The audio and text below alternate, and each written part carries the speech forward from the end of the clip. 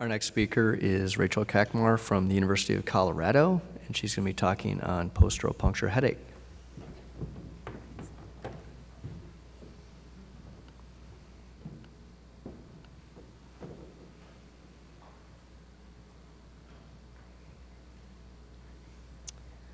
All right, hello again, everybody. Um, so my last talk of the day is post-dural puncture headaches, and I still have no financial disclosures, but since it is my last talk, I'm going to take the liberty of flavoring it with a little bit of Colorado ski propaganda. Um, hope over the next 20 to 25 minutes I'll give you a refresher on some of the epidemiologic principles of post-dural puncture headache, get to the who, what, when, how of why these things occur, and then delve into some of the things that we can do to try to either prevent the occurrence or severity of these headaches, or when they occur, how we can best treat them.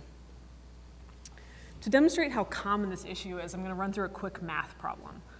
In 2012, there were about 4 million births in the United States.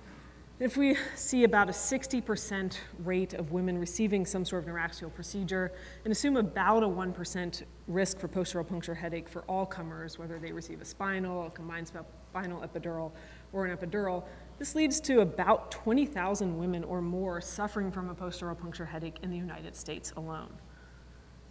Not every one of these post-dural puncture headaches can be traced back to a gush of CSF through a Tuohy needle or some other large bore needle. But the theory behind these headaches really results to the egress of CSF from the intrathecal space that leads to a situation of intracranial hypotension. When there's hypotension within the brain, the brain itself sags, creating tension on the pain-sensitive areas such as the meningeal tissue. This type, of intracranial hypotension also allows both arterial and venous vasodilation, leading to cerebral hyperemia. Cerebral hyperemia in the bridging vessels as well as within the brain itself also contributes to the, the development and severity of headache symptoms. Risk factors for post-dural puncture headache can be split into procedural side of things and patient factors. And not surprisingly, most of the procedural impact comes from the needle characteristics themselves. Gauge of the needle may be the most important. Not surprisingly, the larger the gauge of the needle, the bigger the hole that occurs in the dura, the more CSF that leaks, and the increased risk for headache. An easy way to make a comparison is to look at a 27 gauge pencil point spinal needle that has about a half percent risk of headache compared to a 17 gauge Tuohy needle, which carries more of a 50 to 70% risk of a post-dural puncture headache when an unintentional dural puncture occurs. Other aspects like using a cutting tip needle instead of a pencil point needle or aligning the bevel of the needle in a perpendicular manner to the uh, meningeal fibers can also contribute. As Dr. Sen mentioned, a CSE technique, while it may seem counterintuitive, may actually decrease the risk for post-dural puncture headache as practitioners can use this small gauge needle as a way to get positional feedback while they're trying to place an epidural and may prevent the phenomenon, phenomenon of going too far with the Tuohy needle and causing that large bore unintentional dural puncture. When it comes to what type of loss of resistance is better, air versus saline, well, the evidence shows that there's really not a big difference between the two, especially in experienced hands. And the best way to prevent unintentional dural puncture and the development of post-dural puncture headache is to use your preferred technique. The use of air is associated with pneumocephalus headaches, however, so if that is chosen, we should be cognizant to not inject um, very much, if any, air into that epidural space. The patient factors can be really well represented by the woman in this ski poster, a young, thin woman of childbearing age. Um, patients with a history of post-dural puncture headache or those that undergo a second stage of labor with extensive pushing may also be at risk. The theory behind why pushing may um, influence the development of post-dural puncture headache goes along with the thought that increased number or duration of Valsalva maneuvers may increase the size of that dural hole and thus allow more CSF to leak out.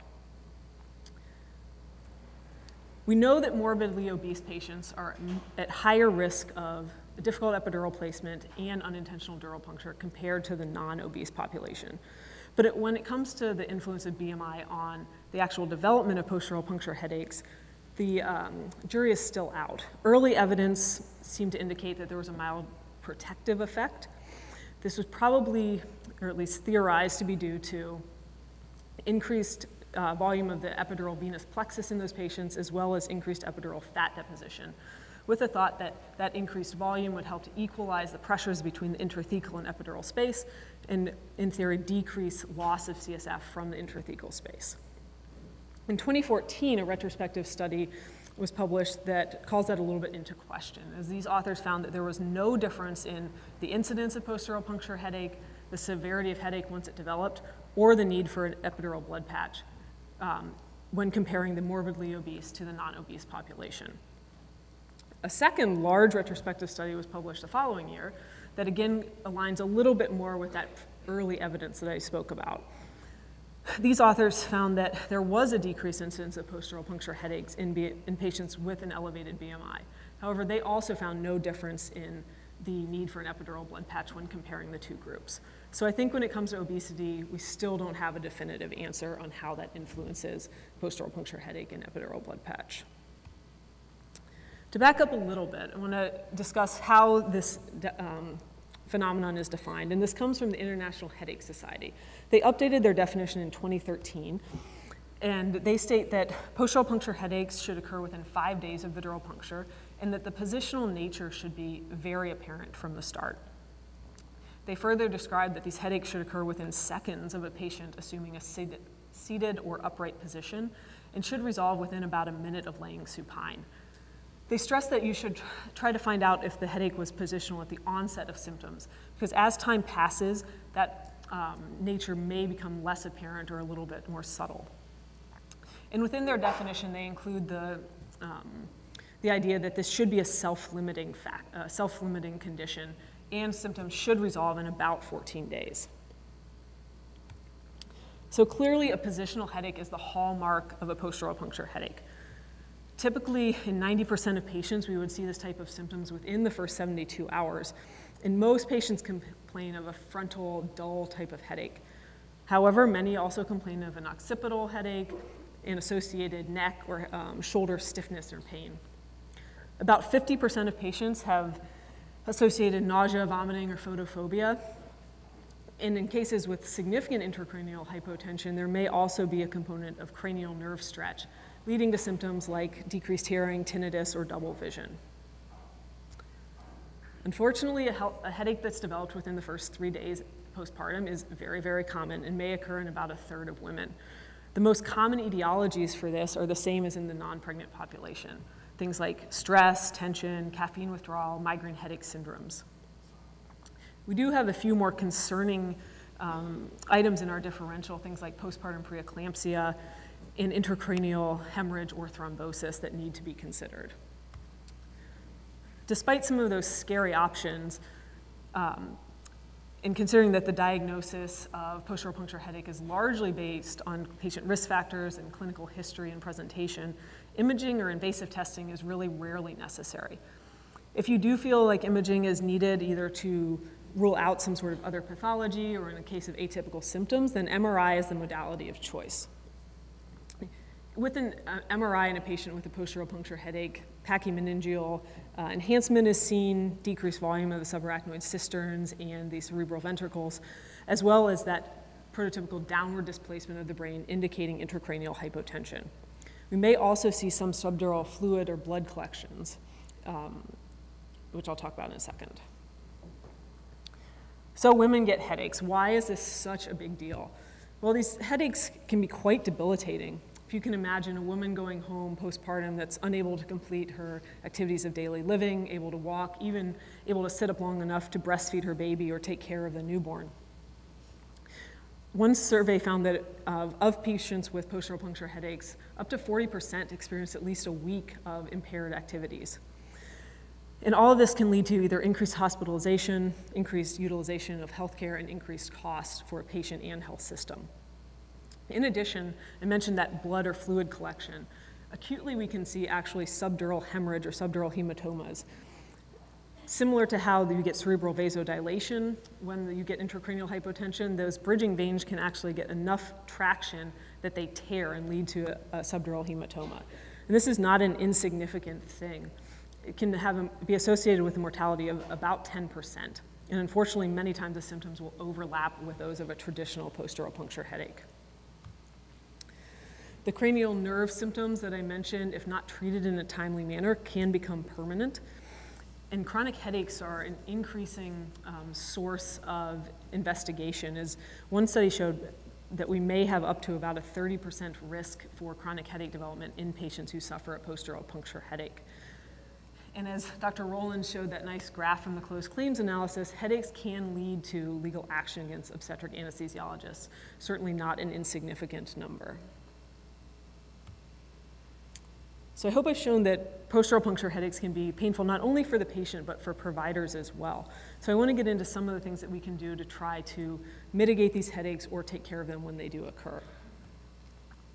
I'm sure that all of you, and, and I have as well, have recommended conservative measures to patients. These are pretty simple things, bed rest, trying to stay supine, drinking a lot of fluids or supplementing fluids through the IV. Unfortunately, the evidence is not great that these do anything to decrease um, occurrence, severity, or really improve outcome in any way for post-dural puncture headache. So we're really left with pharmacologic and invasive options. And I, again, unfortunately don't have time to go through all of these, but I want to talk about a couple um, for the next few minutes. The first of these are the methylxanthine derivatives. and caffeine is probably the most widely used. And the theory behind um, why caffeine may be helpful is that they can act potentially as an adenosine receptor inhibitor and cause a cerebral vasoconstriction, basically counteracting that cerebral vasodilation that may contribute to headache symptoms. Typical dose is around 300 to 500 milligrams PO or IV. It can be given one to two times daily. However, we probably only get a temporary improvement in symptoms from this and really see no difference in the need for epidural blood patch. Adrenocorticosteroid hormone, or ACTH, has also been proposed as a mechanism to prevent post-dural puncture headache after unintentional dural puncture. Cosyntropin is an ACTH analog, and it was studied in a dose of one milligram given IV following delivery in patients who had an unintentional dural puncture. Mechanism action for why this might work is again largely unknown, but it may have something to do with an increase in aldosterone production and an increase in CSF. The authors of this study found that cosyntropin decreased not only the incidence of post-dural puncture headache, but also the need for the epidural blood patch following that. This study should be taken somewhat with a grain of salt because although cosyntropin or ACTH is a relatively benign substance, it's obviously an intrinsic hormone, um, there's only been one study on this, and it was a single author study. So while it may be a reasonable thing to try, I think we need more evidence before we should be incorporating it widely into our practice. Many things have been attempted via the Neuraxis to try to deal with post-dural puncture headaches. The first of these is saline. Studies have been done on injections of saline either through the Tuohy needle at time of the accidental dural puncture or through an intrathecal catheter that was left in place. The reason that we have tried this sort of thing is that if we can replenish the CSF volume, we may be able to slow or eliminate that intracranial hypotension and de decrease symptomatology. Unfortunately, there's nothing to keep the saline in place once um, either the catheter or the Tuohy is removed, and it really does nothing to reverse the actual issue with CSF leakage. So we likely only see a temporary delay in symptoms when this type of therapy is utilized. Epidural morphine has also been used um, to try to pre prevent post-dural puncture headache. There's one study looking at injection of three milligrams of morphine, and these authors found a significant decrease in the incidence of post-dural puncture headache from around 50% to a little over 10%. Unfortunately, again, this is not something that has been replicated with multiple studies, so I think it's, again, too early to say if this should be incorporated into practice. And finally, intrathecal catheter. This is by far the, the um, therapy that has been utilized the most in this type of patient population. And it likely has a multifactorial um, reason behind, behind working or helping out in these patients. The first thing is that placing an intrathecal catheter through a large dural hole acts as a dam. It decreases the egress of CSF, and hopefully, when left in place for a number of hours, helps allow the body to replenish the CSF volume, decreasing the amount of intracranial hypotension that occurs and decreasing that downward movement or sagging of the brain. The original meta-analysis um, behind this also posited that perhaps inflammation occurs by having a foreign body in place. And while that seems like a wonderful theory, the actual inflammation um, would need about 19 to 21 days to occur. In addition, we have hopefully medically inert catheters that shouldn't be causing inflammation. So it's unclear if that actually has a role in helping with the prevention of post-dural puncture headaches. One thing that intrathecal catheter placement does do is it avoids a second attempt at an epidural. So you avoid a, the possibility of having a second unintentional dural puncture and certainly increasing the risk for post-dural puncture headache in those patients. When it comes to how long you're going to leave the um, catheter in place, we can do it for up to 24 hours. Um, we have seen that a meta-analysis shows good evidence that this doesn't decrease the incidence of post-dural puncture headache, but can decrease the need for epidural blood patch.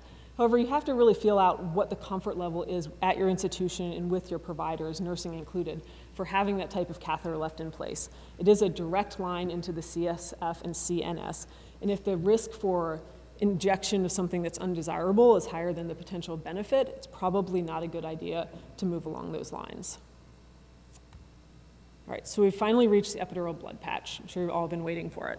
Um, this really remains the treatment of choice for moderate to severe post-dural puncture headache, especially when there's any sort of cranial nerve involvement. The mechanism behind why this works is again multifactorial.